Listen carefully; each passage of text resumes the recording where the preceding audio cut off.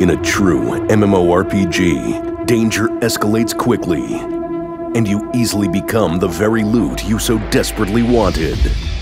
But now, you have to deal with zombies and other players armed with guns.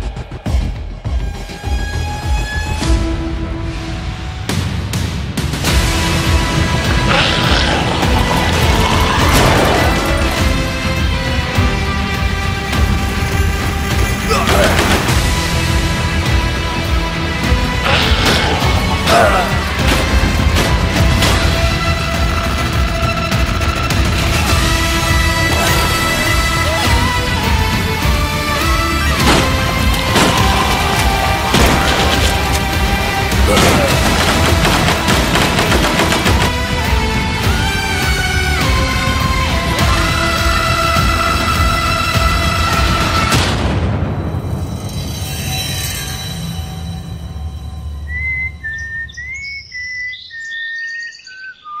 Some survive, the best persist.